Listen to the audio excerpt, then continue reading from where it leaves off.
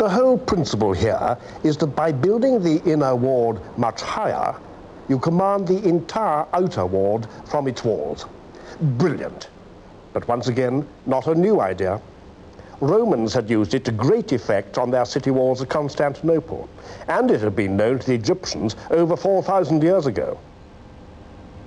Caerphilly is literally a floating island fortress surrounded by the waters of its man-made lakes.